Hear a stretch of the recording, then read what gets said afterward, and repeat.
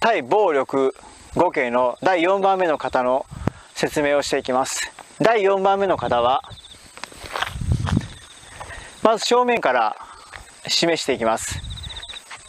まず一発目の攻撃を1ここに敵がいるとしますと1今日はこここに敵がいるとしますと横に回り込むんですね。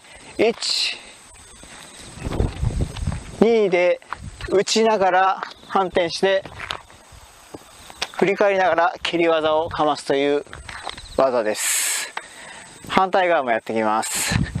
12振り返りながら打つ。非常に単純な技ですね。これは敵の攻撃に対して攻撃をしますというふうに見せかけて打って横に回り込んで不意打ちでこの膝膝もしくはこのくるぶしの辺りを狙うんですね。弱いところを狙う。そして敵を戦闘不能にしてしまおうという技です。ですから非常に出会い頭で不意打ちで非常によく効きます。多人数制においてとりあえず人の数を減らしたい時はぜひとも利用してください。ポイントは思いっきり全面攻撃をすると見せかけておきながら横に回り込んで実はこの下の足の部分を狙う。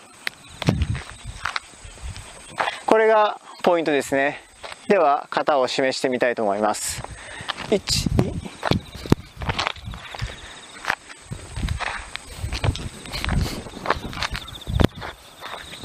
横から示します。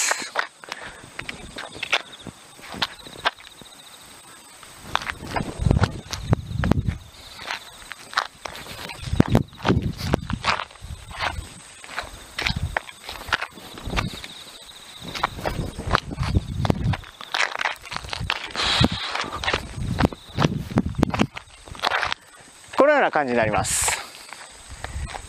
先ほど言いましたけどもポイントは意表をつく不意打ち攻撃です。そして相手の弱いところを狙う。膝くるぶし。この太ももとかすねは相手痛いんですけども意外と強いところなのであんま効かないんですね。痛がりはしますけども効かないです。でもこういう膝とかくるぶしを狙うと確実に相手は動けなくなりますのでそれを意識して練習をしていきましょう。